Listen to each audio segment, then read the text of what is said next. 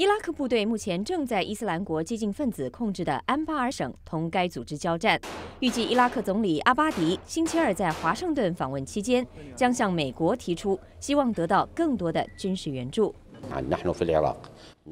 伊拉克在地面与恐怖分子激战，恐怖主义不仅威胁伊拉克，也威胁该地区和全世界。我们需要国际支持来打击恐怖主义。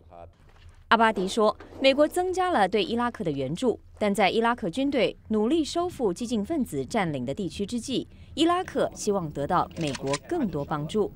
预计阿巴迪在与奥巴马总统会晤时，将提出希望美国帮助伊拉克取得更多包括无人机在内的先进武器，以及暂缓支付军购费用。”白宫发言人欧内斯特星期一说：“他不清楚伊拉克方面提出任何具体要求。”但强调，阿巴迪的访问将是美伊两国深化关系与合作的机会。Our success in 美国与伊拉克政府的合作是过去几个月来伊拉克对抗伊斯兰国战斗中取得安全胜利的重要部分。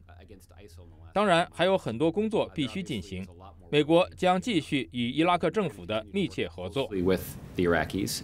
欧内斯特并赞扬了阿巴迪致力于统一伊拉克、确保伊拉克安全部队多元化的努力。提倡美伊两国长期盟友关系的美国布鲁金斯研究所研究员奥汉龙说：“正是阿巴迪的这些承诺，让白宫更愿意配合他的要求。” I think that 我认为，即便美国在伊拉克没有驻扎大规模的地面部队，美国作为一个调停人、稳定者。